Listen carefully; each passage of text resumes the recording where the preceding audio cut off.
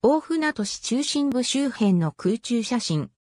画像左上付近が市役所のある西地区。その南側の港の西岸に広がる市街地が大船渡町地区である。1977年撮影の15枚を合成作成。国土交通省国土地理院地図、空中写真閲覧サービスの空中写真をもとに作成。南側から見た大船渡港と大船渡市街地大船渡市は岩手県南部の太平洋沿岸地域に所在する都市である。岩手県陸前高田市や宮城県気仙沼市とともに三陸海岸南部の代表的な都市の一つであり、旧陸前国気仙郡域に属する。市の一帯は典型的なリアス海岸となっており、市域は三陸復興国立公園のほぼ中央に含まれている。総人口は県内8位、沿岸部では宮古市に次ぐ2位。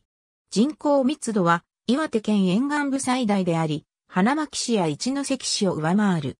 主要な産業の一つは水産業であり、市の沖合には世界産大魚場とも言われる北西太平洋海域となっている。大船渡港は岩手県内で唯一の重点港湾に指定されている。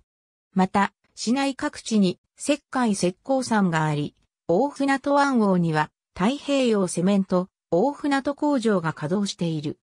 2011年3月11日に発生した東日本大震災では、地域に大津波が襲来、各所に甚大な被害が生じた。2011年7月16日に、神奈川県鎌倉市大船にて、岩手県復興支援イベント、大船通大船渡がスタート。以後毎年行われている。2016年8月30日に平成28年台風第10号が統計以来、初めて東北に上陸した。国が指定した豪雪地帯に属する。欠片の気候区分では温暖湿潤気候である。岩手県三陸地方は沖合で寒流の千島海流と暖流の日本海流がぶつかるため海流の影響を受けている。夏は海からの風が入りやすく、基本的には涼しいが、軒並み真夏日を超える日が多く、山瀬の影響も受け、冷夏となる年も多い。冬は東北地方内では比較的温暖とされるが、冬型の気圧配置下では太平洋側に特有の晴天が多く放射冷却現象による冬日と最高気温摂氏5度程度の日が続く。南岸低気圧の通過により雪が降るが、豪雪地帯に指定されているにもかかわらず、積雪量は他の三陸や東北南部の都市と比べても特に少なく、最新積雪は多くの都市で7から15センチメートル程度で、大雪になっても20から25センチメートル程度である。大船渡市は大船渡町の大船渡駅前周辺と西町の西駅、西口周辺に市街地が展開している。行政、司法の中心は、清町、交通、商業の中心は、大船渡町である。市の中心部については、光ファイバー網が普及しているが、一歩中心部から離れると ADSL が利用されている。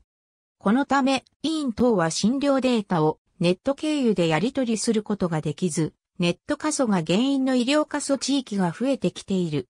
2011年3月11日14時46分18秒、マグニチュード9.0の東北地方太平洋沖地震が発生し、大船渡市は大船渡町と井川町で震度6弱、西町で震度5弱を観測した。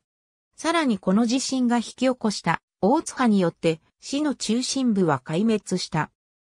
大船渡号市場と大船渡港、平成27年国勢調査より前回調査からの人口増減を見ると6.58%減の38,058人であり、増減率は県下33市町村中15位。